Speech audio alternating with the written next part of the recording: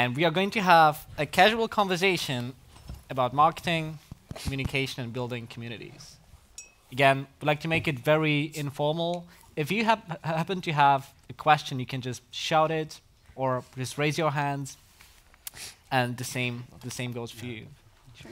So I'd like to begin now. Have some water first. That's a good idea.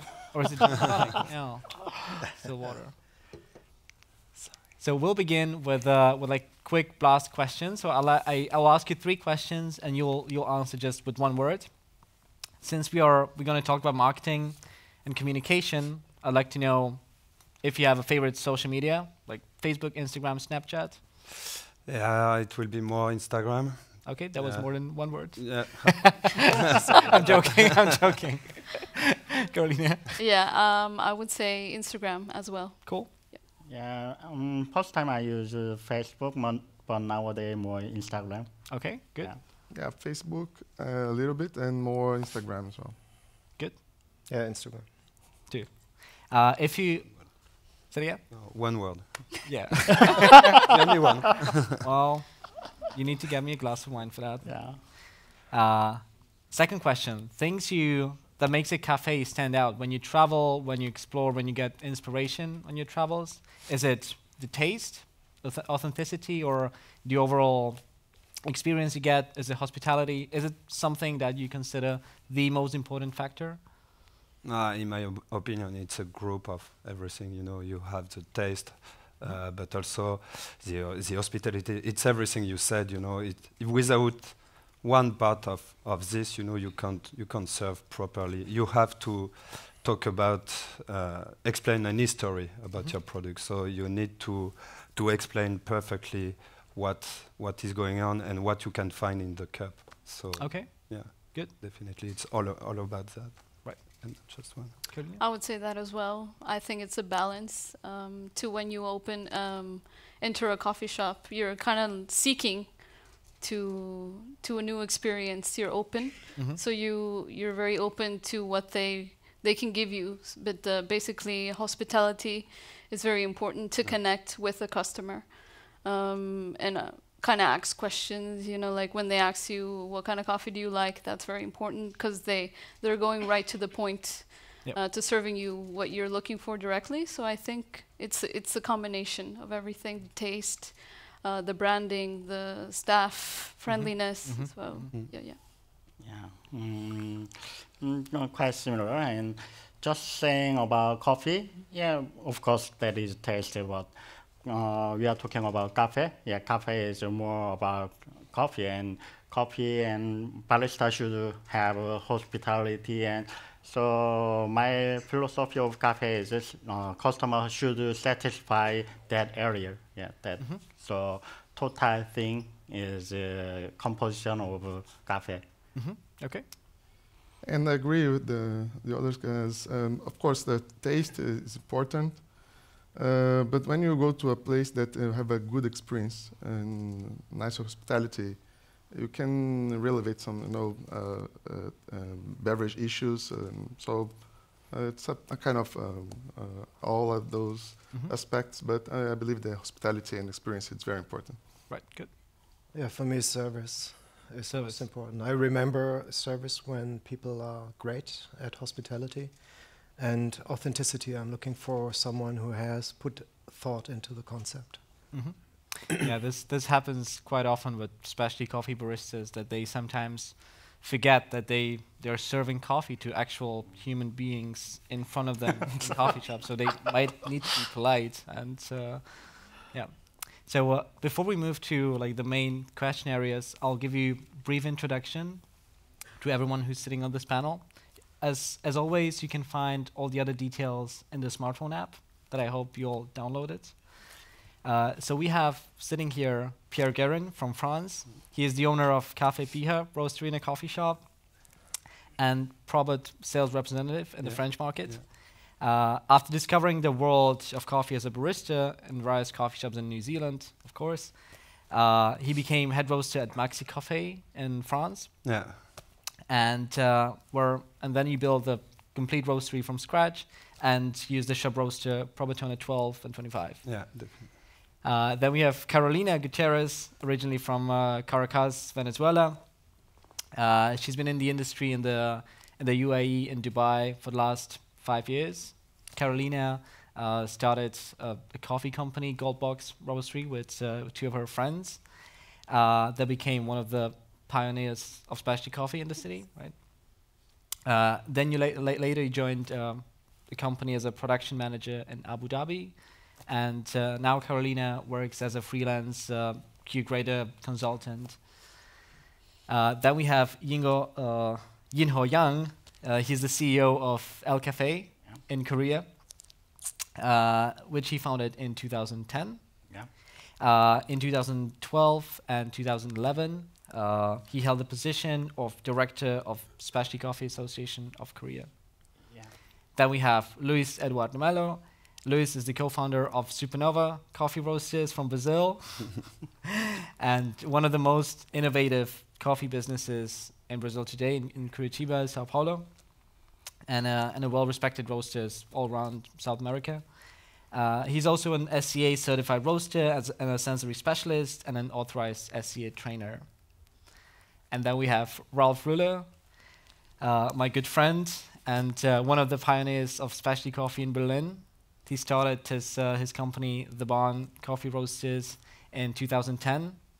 And he now has three shops, opening up a new one very soon. Uh, a roastery, international wholesale, and is the leading figures in the in the world of coffee roasting, in at least in Europe and worldwide. so please, big applause for everyone here. Thanks so much for joining us.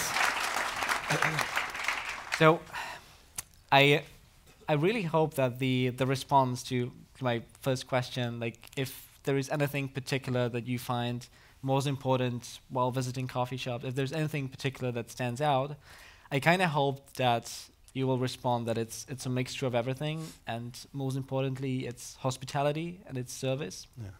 So uh, you gave me the right answer. So thanks for that. uh, the reason I why I like the the people in this panel is that we have a great combination of a person from France, Dubai, Korea, Brazil, and Berlin. So we have we have different opportunities to look at marketing and communication and building communities in different regions and from different perspectives. So for the beginning, I'd like to hear maybe your story. Like, what were your first days when you started your companies and when you started to build the communities from scratch? How was it to How was it to start in France, Pierre? Uh, it was not so easy. okay. But uh, yeah, I start uh, to build my roastery. It was two, around two years ago. Mm -hmm. so I learned how to make coffee ten years ago. But the thing is, uh, as Tim could explain before, you know, it was quite hard to learn how to make coffee when your father is not a roaster yep. or you you are not in, in this scene. So this everything began with a trip in New Zealand mm -hmm. and how to learn how to speak English. Mm -hmm. But uh, the best is uh, when you're talking with customers, and so this is how I start to learn the, mm -hmm. the, the job as a barista. And then I came back in Paris and I could help on different opening, different coffee shop. And the thing is, I always love to travel and how to you can travel, uh, you can learn how to roast, and then you have to go to the origin and to understand where everything is coming from, so the beans. And then I try to find a way to create my own thing. And so, as you said, I had different experiences in coffee shop and I was looking for a roastery. And so I found an amazing web shop company who were loaded of money, but uh, looking for ideas. And uh, I was lucky enough to be the guy. And so I could have my experiences on building a roastery from scratch. And then I could save some money and doing my own one. So I found an old print shop right in the middle of uh, Bordeaux. Mm -hmm. And the coffee scene was quite growing a little bit with uh, two or three coffee shops, one roaster, which, uh, which is a friend. And, uh, and I thought I could, I could build it, my roastery and my coffee shop, in three months, but I needed around eight months, and uh, with Then you then you found out of, about European law. yeah, everything. Yeah, but um, I was also really lucky because during this time, uh, I had a call from uh, Jens from Probat, uh, who were looking for a new solution on distribution, uh, distribution and agency in France, and he had the idea to ask to a roster to be part of this project because in his mind he thought that who can be, uh, a roster can be the best person to advise another roster to choose which machine and, and also to, for the setup. Mhm. And so I, for sure, I say yes. How could I, how could I say no on this? And uh, and we start um, doing this all together, and it works pretty well. And at the same time, I could I could build finish to build my roastery and my coffee shop. And at least you need a year, you know, but uh, to find regular customers and and to to be on your on what you are looking for. Mhm. But uh, every time people coming in the shop, it was always, you know, with a smile. And when a person come and you can see this person coming ag- coming again and again and enjoying coffee, uh, I think it's uh, the best thing it can happen to you. Oh yeah. Yeah. And especially in France, it's it's really exciting to see the, the growth of, of specialty coffee in the country. yeah. Because like you as like you as a country, you have a perfect taste for good quality wine, good cheese, good food and cuisine. But up until a few years back, like Yeah. the coffee just sucked a lot. Uh, we c- So, we can't uh, be good on everything. good you job. know. how, how was it? How was it in Dubai when uh, when you started? Uh, in Dubai, when I came, there wasn't really many specialty coffee shops. I would say it was zero. Uh, you did have a big That's not a lot. Yeah. it's not a lot. Uh, there was a big a big company who was roasting for commercial, um, and then you did have a company who was focusing on organic, hundred percent fair trade. Um, so that's that's wh- when I started working as a barista, Okay. um, and and it's kind of where my passion grew. Yeah. Um, I come from Venezuela, so we do have coffee. Mm-hmm. Um, so m- my inspiration was kind of like my mother. Uh, she's drinks coffee every day, breakfast. Um, so when I came to Dubai and, and actually uh, drank, I was very like uh, open to the idea. Hey, you know, I didn't know it grew in trees, uh, and I also met the owner. She was very passionate, uh, explaining about specialty coffee. So I think my passion kind of grew there. Uh, so I started working as a barista, passionate, um, and the first three months I had to um, um, learn about calibrating a machine. Um, we were doing cupping sessions, but my palate uh, sensory skills were zero. So like I had lots of help from my colleagues. So I think from there, like it was definitely a good starting point. Um, and then I, I grew more curious because I wanted more information about the coffee. I wanted to know the altitude, the variety, the processing. Um, but I would say like the the starting point in UAE was kind of like a bit closed. They didn't like to give too much information. Um, so that's when I, I had an opportunity to have my own business uh, with two other friends. Um, so we started from ground zero, uh, looking for a location. And you're uh, still friends. we're still friends, yes. uh, and I started uh, roasting in a Probat 12 kilos. So from there, I, I came to Emmerich to uh, learn about uh, how they fabricate the machines, how it works. Uh, so when I reached back to Dubai, it was uh, approaching customers that I knew. Um, they they were coffee consumers and kind of the interactional um, that we were having a new company that uh, we were going to start roasting. Um, and I think the UAE community they're very coffee um, oriented. They they already drink coffee. They're coffee Historically. consumers. So when we set up a company, I think they were already craving for this new concept of specialty coffee. And since the the market does have um, money um, to pay for specialty. Um, I think when they um, went to the to the to my company, um, we approached them very passionately and like explained uh, where specialty coffee came from, what was the difference uh, with commercial coffee, and uh, we hosted cupping sessions. Um, Yep.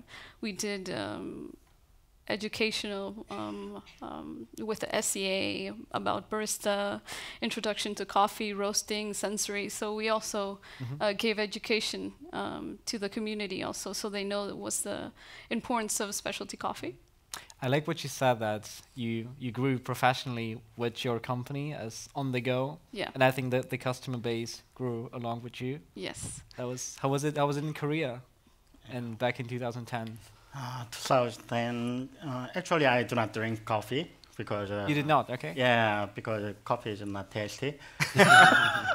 yeah, and uh, uh, someday I drink some coffee and that is tastes really nice, and I try other coffees, uh, and I traveling all over the Korea. At that time in Korea, just around 100 roaster. Just yeah, nowadays you cannot imagine. Yeah, so I can travel all over the roaster. Uh-huh. Yeah, so I, I traveling all over the roasters and I realize I cannot drink it. Yeah. yeah, so that is why I start roasting. so you had to do it yourself. yeah, if they do not give, that's a good I reason. should do. That's a good yeah. so I tried to roast it, and I realized uh, another thing. My coffee was not delicious. So uh, I try to why my coffee is not delicious, and I figure out green bean is different. So how should I get the good green bean? Yeah, I should growing more consumption. So I opened my shop. Yeah, that is my story. And uh, when I opened my shop, and other roasters coming my shop, and they talk. Did they like it? No, they didn't like it. Yeah, they told me your roasting is wrong because uh, your roasting is uh, below second crack. Yeah, that is not roasted. Yeah, that time, yeah, that kind of seasons. So But you didn't listen to them. yeah, they didn't like me, and you're wrong. You roasting terrible, and uh, if they time someone roasting like me, yeah, I didn't roasting, and I'm doing a coffee job. I'm going there to just drink, drink coffee, and uh, so that time in Korea is just the starting time about specialty coffee, and uh, and first time I really impressive thing was I get the uh, Ocean the Cup of Excellence first time, and that is so delicious. And yeah, that is my very impression about coffee. Yeah. And I eager to go to farm to get the more better quality green beans, and I'm doing that is uh, progressing. And first time I opened my shop, that is really small. And uh, I have that time I have uh, seven grinder, but chair for customer is just four. Seven grinders and four chairs for four. Yeah. so wow, more that's- machine than customer, and that is really nice place for me to study coffee. Yeah. I remember the first time I went to Korea was for the for the World Barista Championship last year, and my impression was that you get the same kind of espresso bars as you find in New York or in London, but just with four floors and five times bigger. Yeah. It was so so impressive, so Yeah. impressive how the community grew over the Yeah. just a couple of years. Um, but my one is really small. yeah, you'll you'll get some floors eventually. Yeah. How was Brazil today, and how was it when you started? Yes. Um, well, first of all, I'd just like to thank uh, Probat for the invitation. This is an amazing event and a very special moment for, for, for Brazil. The Brazilian market is changing a lot. The specialty coffee is growing fast and during the, the, the, the recent years. And then I'll try to, to summarize my, my, my, my story, my history in, in coffee. But um, I started to drink um, uh, specialty coffee only 13 years ago, uh, when uh, one of the first pioneers in uh, Brazil, uh, Luca and Georgia and Luis started. They are here. Uh, they started the business in Curitiba, and that's why our city is very known about uh, the the specialty scene, the specialty coffee scene. And then uh, I started to drink the uh, drink coffee that um, even in the Brazil it's a, a big consumer. Uh, only three percent is uh, specialty that we uh, we drink nowadays. So most of the, my life I didn't realize what coffee really tastes, you know.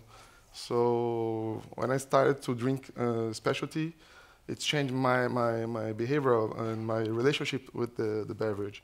And I started to find uh, to every place I, uh, I, would, go, and I was traveling uh, around the world, trying to find uh, new places, uh, trying to find coffee, specialty coffee places. And then I was uh, thinking, why do we don't have this kind of business in Brazil? most of the time, I, I, I, thought it was because of the culture, because the culture is so different. We are not used to drink specialty food or specialty mm -hmm. beverage, you know.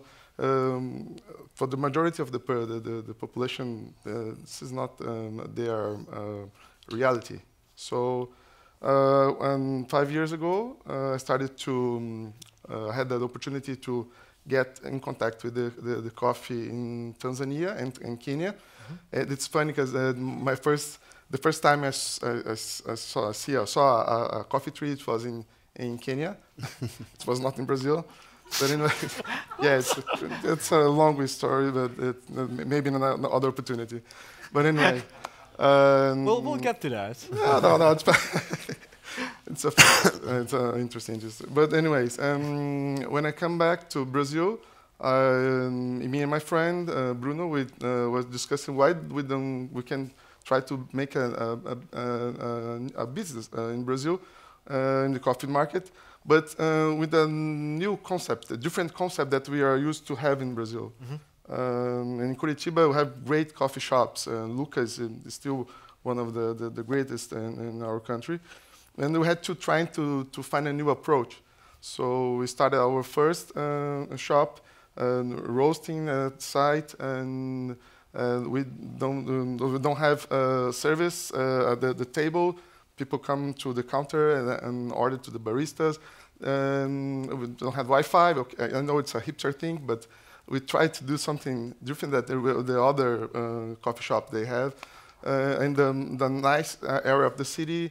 And when uh, we were uh, planning the business, we were discussing with some friends. They said, "Oh, you're crazy, man! You're doing this. You you break down in a few months because nobody will go to the, the, the shop because it's completely different from what we are used to." Yeah. But I said, okay, uh, that's right. Then you can make some, you know, adjustments later. And then we opened uh, three years ago, and we're doing so well that we just opened our shop in São Paulo. Mm-hmm. We have four shops in Curitiba, mm-hmm. and I think we're doing well. We, we started um, uh, um, a relationship with the producers, uh, with the customers, and a kind of a different approach that people are used to. So um, had a lot of challenges. It was still growing the, the coffee scene in Brazil, um, but I, I know um, we had to try to uh, find the strategies mm-hmm. to reach the, the, the people, the 97% uh, of the, the, the, the market that, that they, don't drink, uh, they don't drink uh, specialty yeah. coffee. Yeah. And what about you, Ralf? You, you were into finance, working in Japan, in London for yes. a long time, then you got into coffee. How was Berlin back in the days? Um, uh, it's interesting that you distinguish Berlin out of uh, Germany and keep it separate. Yeah. I think there's some value in that. Oh yeah. Um, we benefit from a lot of international people liking the city, not only mm -hmm. the discotheques but also you know the coffee culture and um, yeah Berlin as an as an experience. So I think there's huge benefit in that. Um, I think yeah when I started I felt for me it was a career change, and I was looking for something I felt passionate about, and that's what I'm hearing here as well. Mm-hmm. Is uh, I think if you feel very strongly about something, then you can also sell it really well. It's like a good cook who is really proud of the best meat or egg or, and so on, and they serve it with confidence. A lot of people will come because they feel the energy and the the, the mm-hmm. passion, and hopefully profitable as well.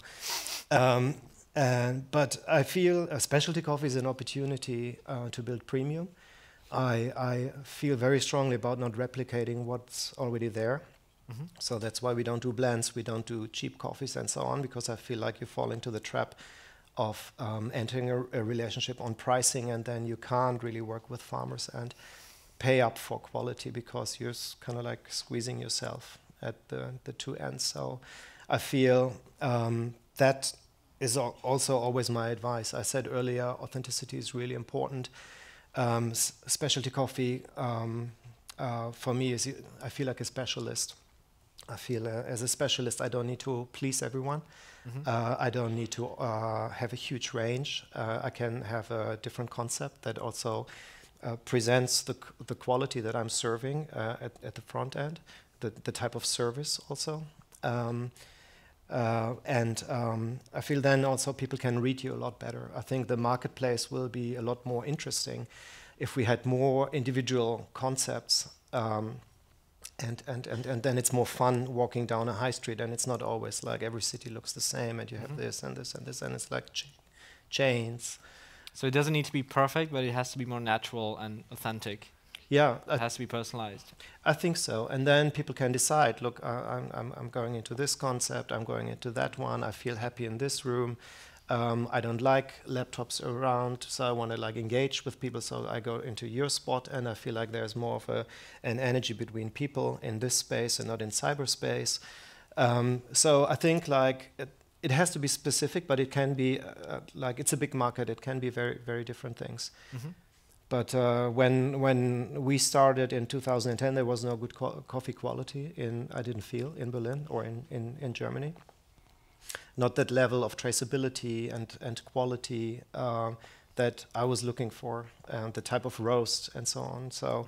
I um, immediately turned to the outside to markets that were um, uh, culturally a lot more developed in terms of coffee. So I visited Tim and uh, other people that I felt like I can learn from and I can, can look up to. And so they were kind of guiding me um, to that. And but um, as far as Berlin is concerned, I never looked at the market. I felt like if I look at what other people are doing, I, I just hear no, no, no, no. Yeah. So I felt just focus on getting better and on serving better and, and, and giving people a good uh, customer experience and be very clear and specific about what I'm doing.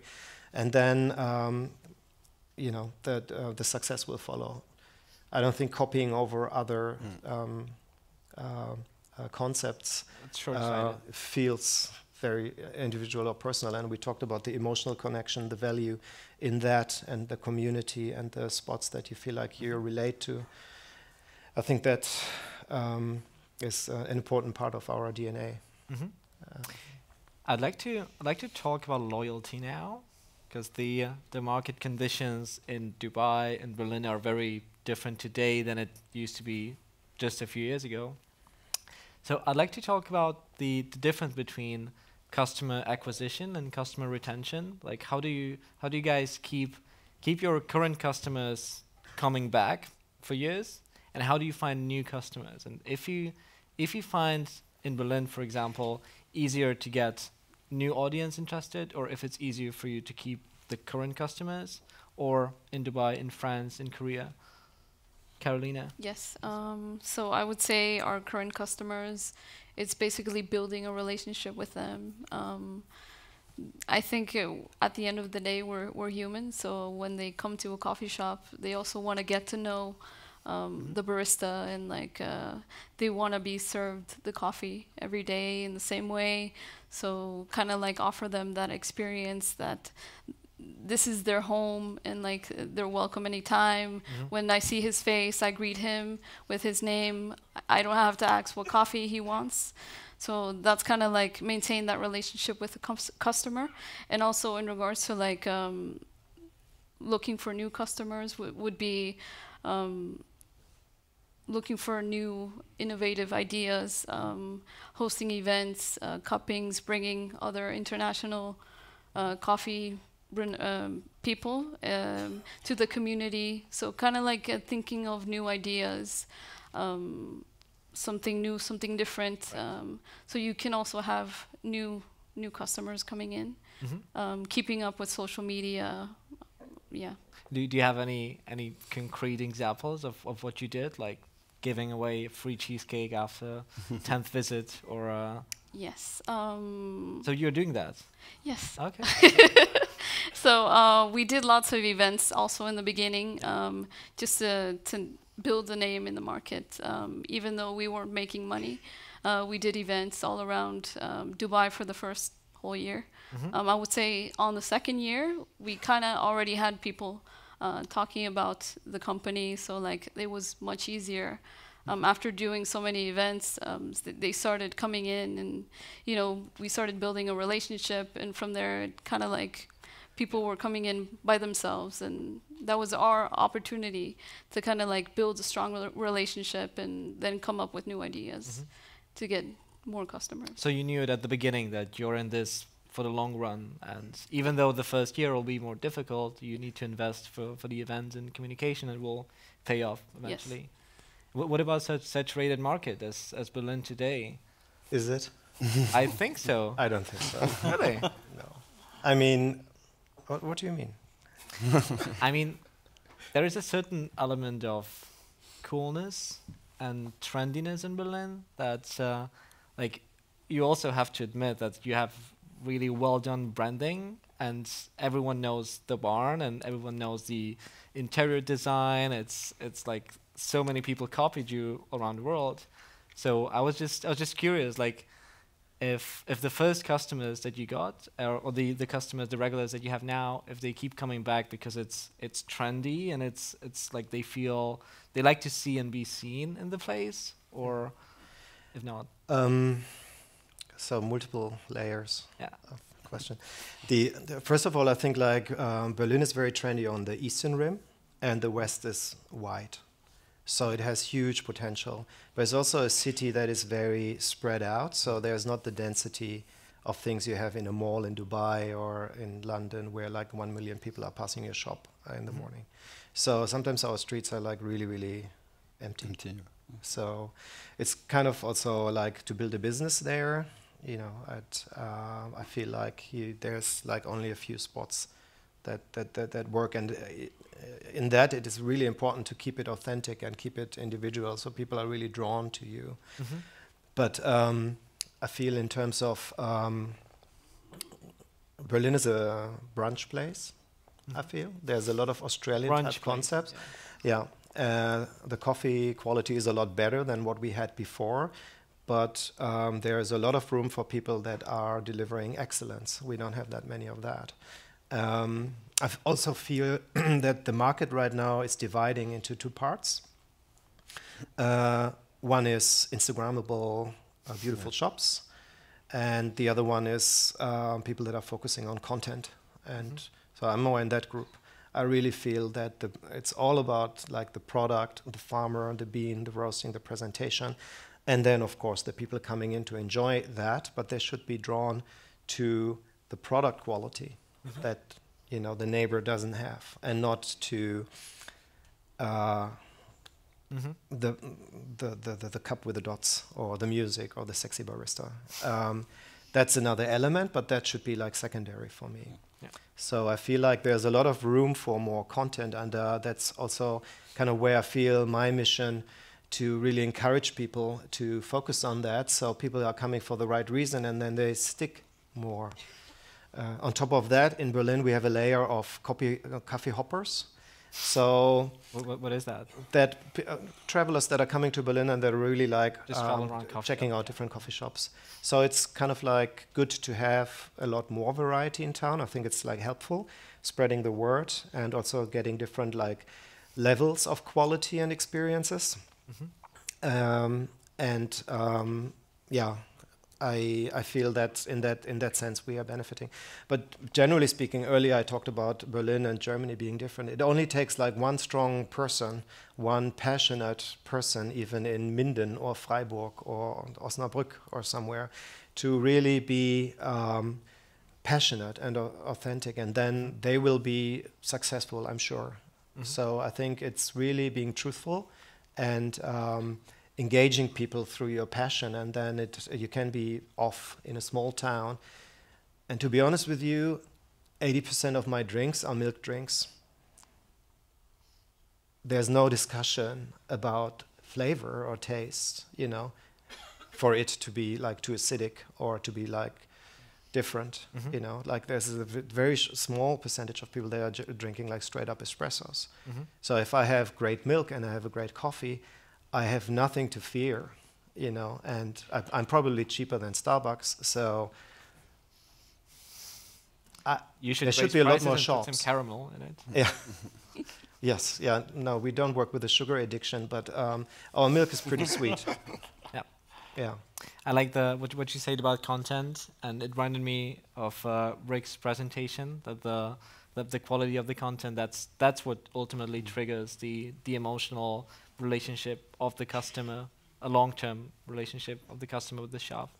So you did that in France, in Bordeaux. It wasn't particularly a coffee city. Everyone knows Bordeaux for wine. Yeah. So, but first, I totally agree with you. So, when you go to Berlin, you go to b- the Berghain to, to party a lot, and then you go to the barn to drink a, a good coffee. The next morning. Yeah, the next morning. uh, Bordeaux, so I'm quite lucky because Bordeaux is different than Paris. So, uh, as you know, Bordeaux is quite a small city. Now we are maybe three or four roasters, specialty coffee roasters, maybe six or seven coffee shops around me. I've got maybe four coffee shops, Mhm. and uh, I'm still okay. And uh, everybody has his own customers. My customers goes to the other to the other place, and it's great because they can discover other origin, other roaster, other way of roasting. Uh, so, um, so I think it's more a benefit uh, than something else. And we group, we try to group together to organize cupping events and whatever to be stronger. And we want more. Uh, I think you have to split two kind of customers. So the customers of your coffee shop Mhm. and your customers as a roaster. So it's not the same thing. Right. If you wanna, if you wanna keep and if you wanna continue to respect your customers in your coffee shop, we already talk about everything you have to do. But if they come to your place, it's because um, this place look like who you are. Mhm. You know, because we talked about the producer.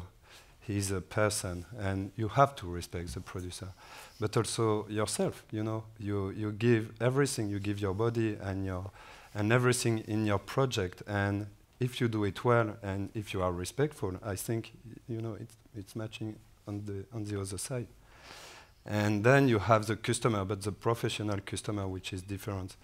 And as I told you, the other roster, we are we are a group, so we try not to get the customer of the other one, because in Bordeaux at this time we have plenty of room. Mhm. You said that maybe in the wine we, we are pretty good, but in coffee, the thing is it's more, um, and it's not negative, but mainly industrial who has the power to provide machine, services, and everything that an office, a restaurant, or an hotel needs.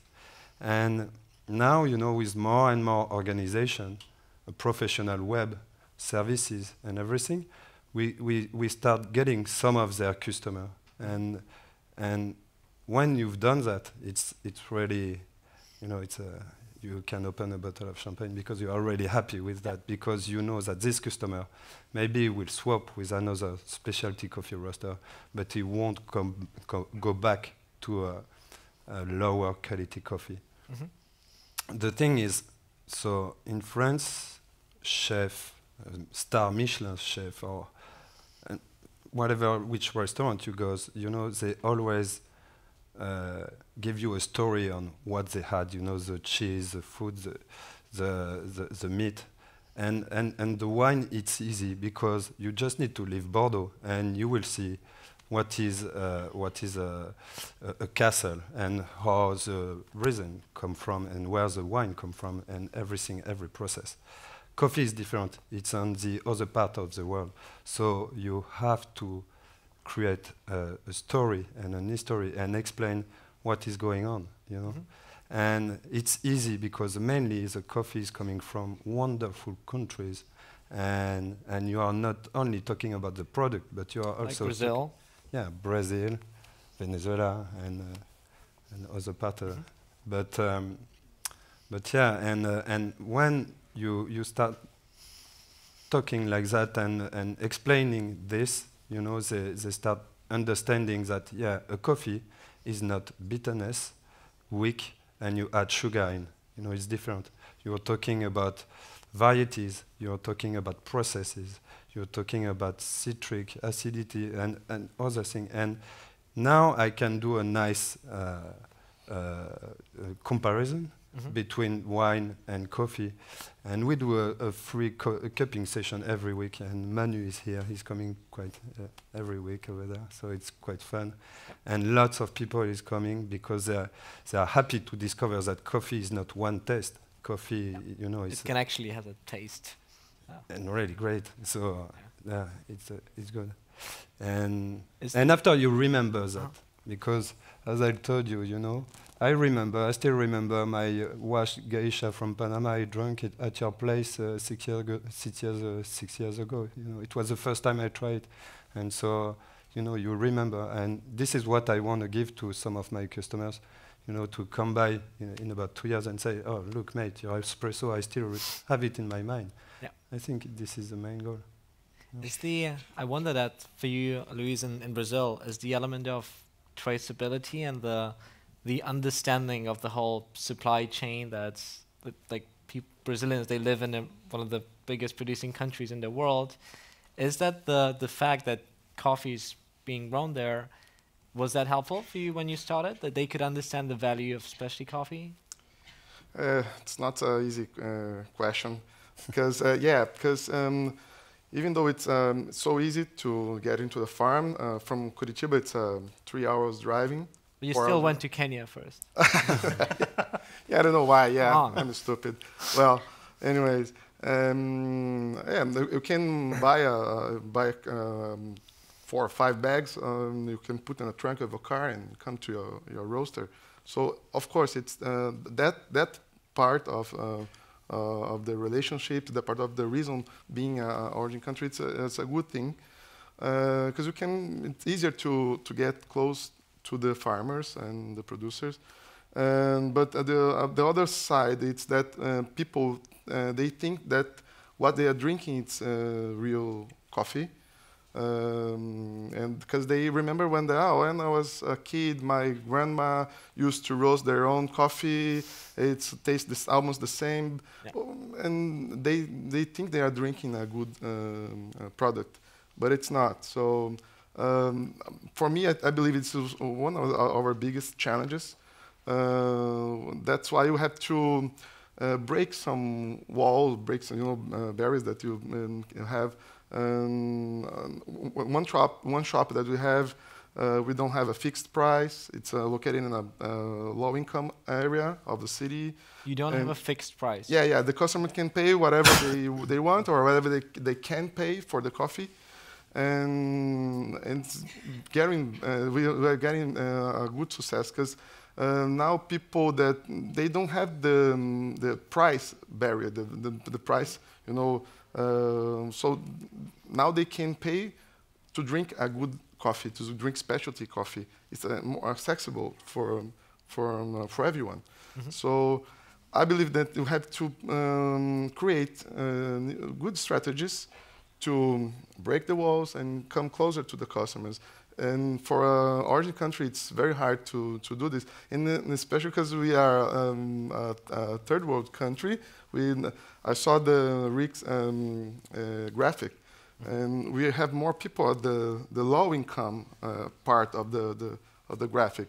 So um, it's not as a mature um, market as um, Germany, that people are used to drink good things are there. They just can choose uh, the barn or, or, or, Five Elephant or other shops. Or they they have good um, uh, they have access to good uh, coffee, and for us it's very challenging because you know we have to um, try to make those people.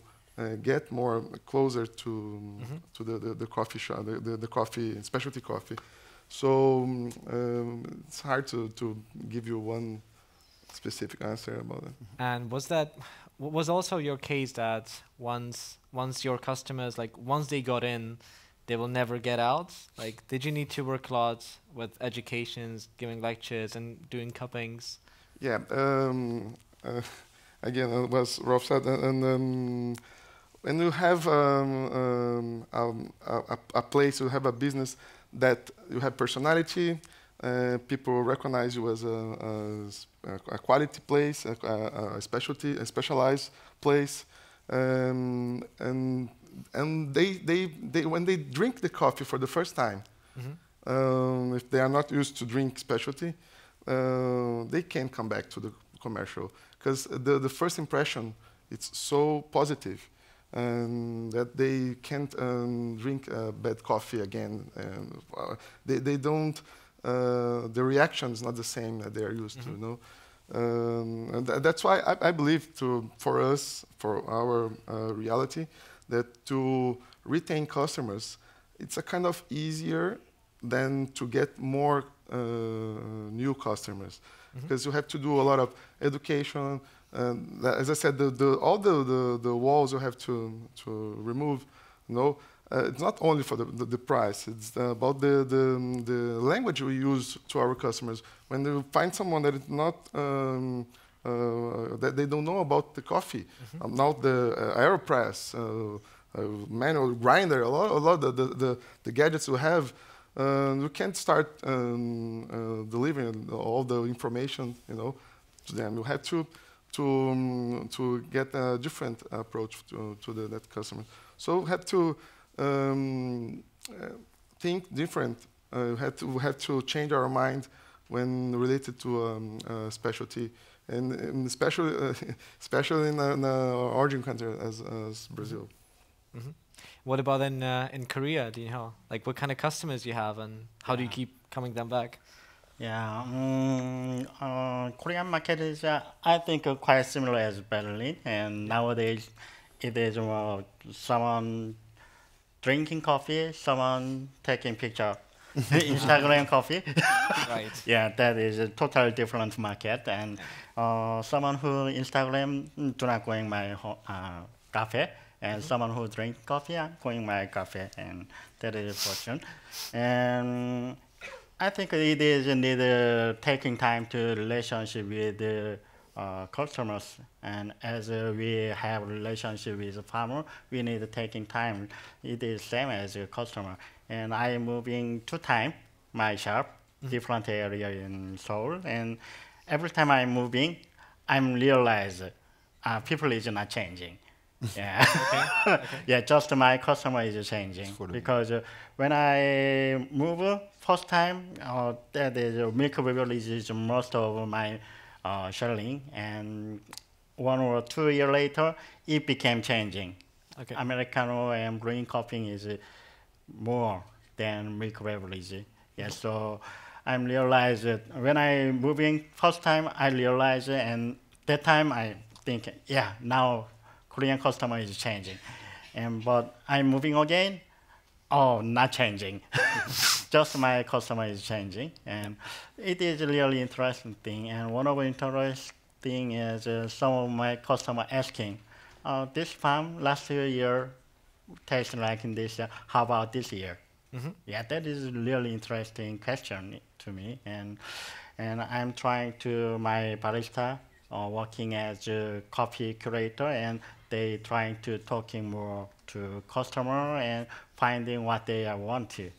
And we have a several uh, choice of coffee, and if they cannot find something they don't like, and please explain what they are like and sending the coffee.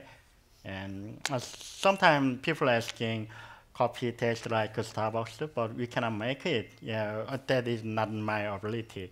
Yeah, so we sending to uh, kindly explain how to go to Starbucks nearby.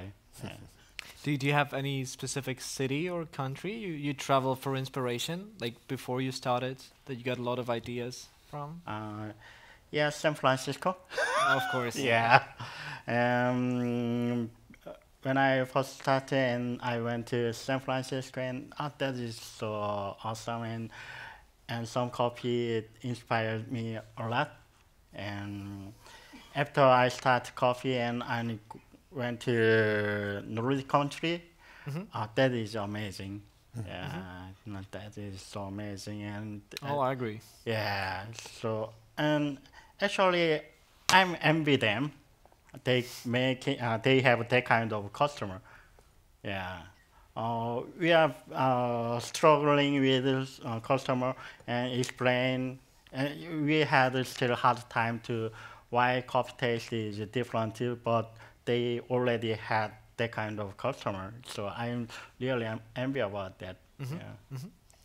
Now I'd like to hear the thoughts of all of you on the on the future trends and challenges you you expect to to see in the in the near future? Because uh, in the specialty coffee market or in the co- coffee market in terms of consumption a lot of things are changing now. You can see the uh, the big corporations and big companies see that the the future and the, the trendsetters are people like you. And with the acquisitions of a number of brands in the United States and uh, new new concepts, Starbucks Reserve Roasteries and places like that, you see that they're improving day by day. So I just wanted to hear your thoughts. Like, what do you like? Where do you see yourself going in the in the next coming years, and what trends you see in in like in marketing, how, how to keep the customers coming back to your shops and uh, to your roasters. So, uh, as you said, and before, I think with uh, with the climate changing, you do you do not know what will happen soon. So, huge company now is trying to find a solution to get the customers who are ready to pay a high price for a coffee. Mhm. So mainly it's our customers because they are involved in the specialty coffee. They uh, they like qualities and the product. So um, as you said, you know, I'm the agent for Probat in France, and I'm lucky enough to meet a lot of roasters, not only you know small roasters who are opening the shop, but also you know big roastery. And um, what I can see is uh, the industrial uh, start to replicate what we are doing. So they try to train their employees to get diplomas, to Mhm. have baristas, to change their machine, to improve the quality of the bean. So it means that uh, we do something great. And so in France, mainly this is what is happened. So last weekend, so and I finished yesterday morning. You had uh, the first event. So it not means a lot maybe for you, but for French people it means a lot. So it's a, it's not a competition. It's a diplomas, Mhm. and it, the name is Meilleur Ouvrier de France. So it means that you you will have the best chef, the best pastry chef, the best jewelry and everything. And so after you can have a flag on it and a big medal, and, and you you know that you are the one. And it's the first time it happened for the uh, to get a MOF, uh, but a coffee roaster Mhm. after 98 years. After 98 Yeah, years. Okay. yeah, because MOF exists for 98 years. Mhm. And so now we will have the first coffee roaster MOF in France. Mhm. And I think, you know, for it means a lot for us because it's a recognition of our work and what we are doing. And, you know, as I talked before, you know, when you're talking about Alain Ducasse and Sophie Pic, this big chef with all star Michelin, Mhm. and using big brand and, and their r- restaurant. And now they are already thinking about, yeah, uh, I think coffee might be really important at Mhm. the end. Yeah, for sure. You know, you have the best starter, the best wine, the best main, but you will leave the restaurant with a shitty taste on your mouth. Mhm. So you have to do something. I think. Mhm.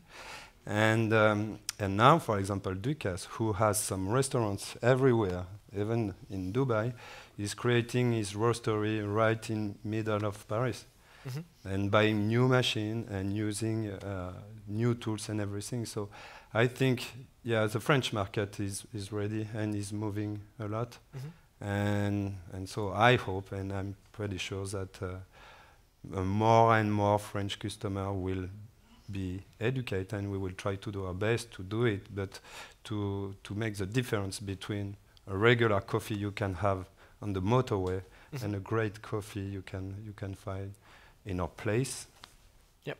so And do do you see any specific trends in uh, in Brazil, Luiz, in the in the coming the coming years?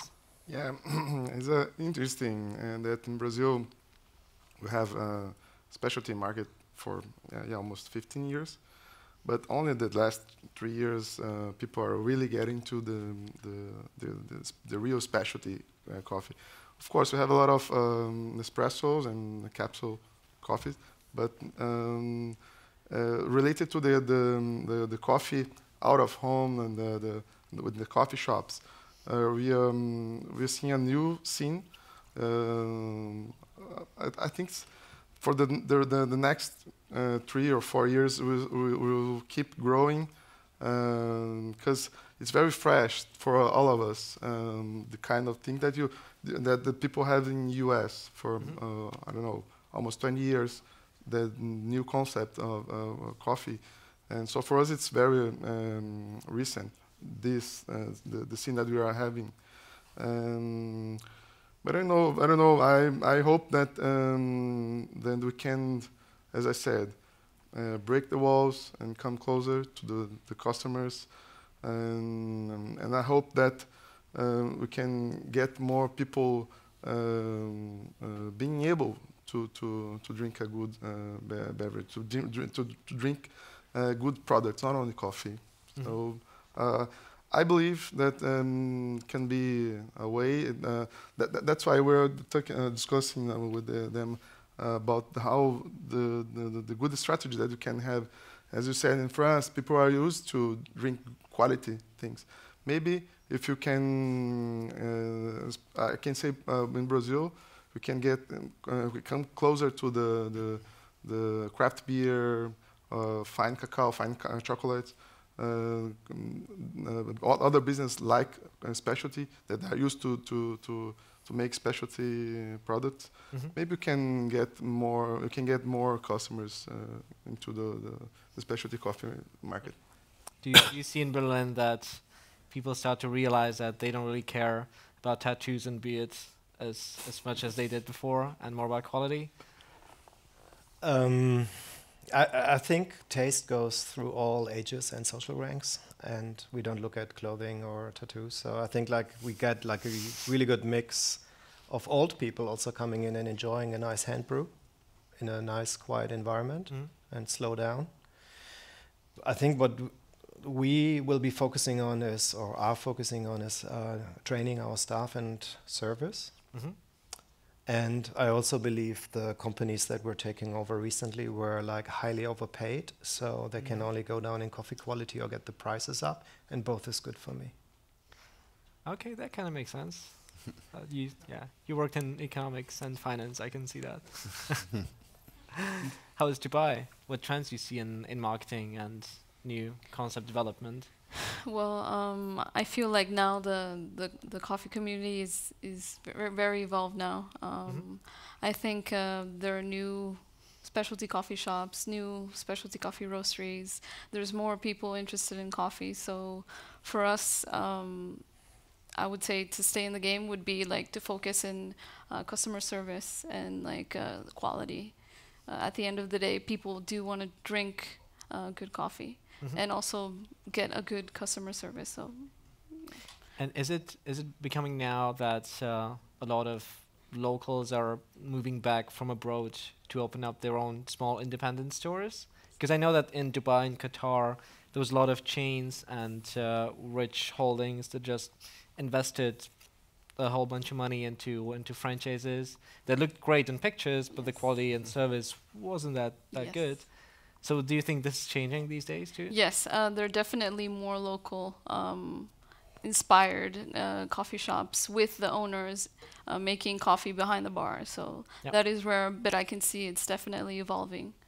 But yeah, they're all now focusing on quality, customer service, and like new different things um, to find their unique um, Yep. style between other. Okay. Yeah. Okay. And in Korea, I guess like artificial intelligence and robotics and uh, drones serving you. Not yet. Not yet. Next summer. yeah, um, probably. Okay. and in Korea, I, I think a Korean coffee trend is a changing, and and nowadays uh, some big company is trying to do coffee business, and as you saw, uh, four-star coffee shop. Y- y- yeah, Okay. yeah, whole building they using coffee shop. Yeah. Yeah, something like that. And then bigger coffee shop. uh, Nowadays, many bigger coffee shop is opening, and and even local franchise, they are opening specialty coffee shop. Uh, I'm not sure what is the specialty what to them, but they are trying to do specialty coffee in local franchise, uh, such as uh, Starbucks Reserve. Yeah, and that is a big change. So nowadays, most of uh, people who are doing coffee, they saying they are doing special coffee, but I'm not sure. Ah, Yeah, they're just using the term yeah. just because they can. Ah, Yeah. Okay. So it is a kind of uh, uh, difficulty about that thing. What is specialty coffee? Uh, and that is uh, my main concern nowadays. And mm, more than 80%, uh, 80.2, that is specialty coffee. So I cannot say that is not specialty coffee, what they are saying. And so this is one of the difficulty in Korea. Yeah. And it's your task and a challenge to communicate the message, what Yeah. specialty is, and the value. Yeah. Yeah, so the uh, I really like the the selection of panelists here today because we we are all from very different regions, but uh, after the last hour, we kind of all realize that we have the same or very similar communities around us, and uh, how coffee is very universal all around the world, whether it's producing country or a very trendy city or a very dense populated city or a small town in uh, in in France. So uh, that's that's like to me personally one of the one of the best things about coffee is that how it connects people of different ages, religions, uh, and historical backgrounds. So uh, I'd like to thank thank you to all of you for for joining us today. Please again big applause for Carolina, Jinho, Pierre, Luiz, and Ralf.